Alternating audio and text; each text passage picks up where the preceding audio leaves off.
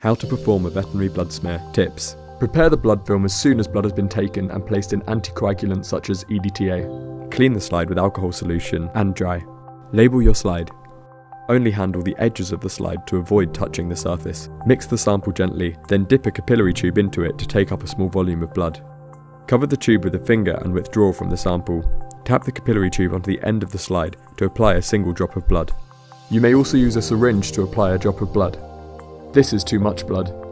Take the spreader slide, tilt it away from the blood spot at a 30 degree angle, then move it back along the slide until it touches the blood spot. As soon as the blood moves along the edge, quickly but gently drag the spreading slide across the length of the entire slide in one smooth motion. Aim for a curved feathered edge to ensure a single layer of cells for examination. Too much blood creates a smear that's too thick. Moving too slowly creates an uneven smear. We may then stain the slide. Here, a clinician is using Diff-Quik stain.